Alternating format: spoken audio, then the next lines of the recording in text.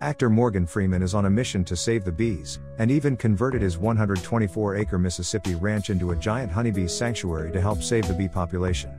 Speaking with Jimmy Fallon on The Tonight Show, Freeman stated he imported them from Arkansas to his ranch where he feeds them sugar and water.